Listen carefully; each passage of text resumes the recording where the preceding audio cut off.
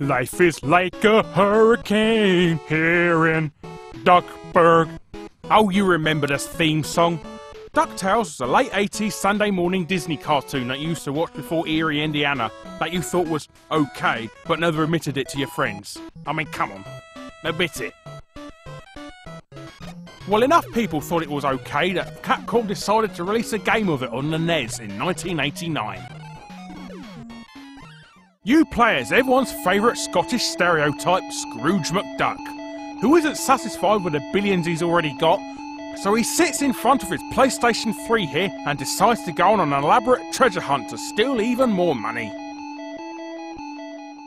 No kidnapped princesses or kidnapped nephews. No, no one's even stolen his gold. He just goes on a world tour to steal cold hard cash from third world countries.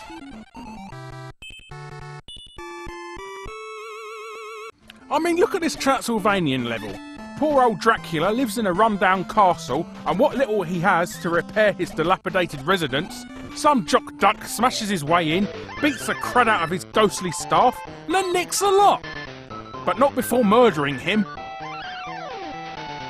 This guy's so evil that when his nephews Huey, Dewey, and Louie help him across the level on a minecart, the sadistic duck lets them fall to their deaths. So killing hereditary peers to save giving them pocket money is another vice of his. The sick duck. And he's not satisfied with stealing all the money in the world either.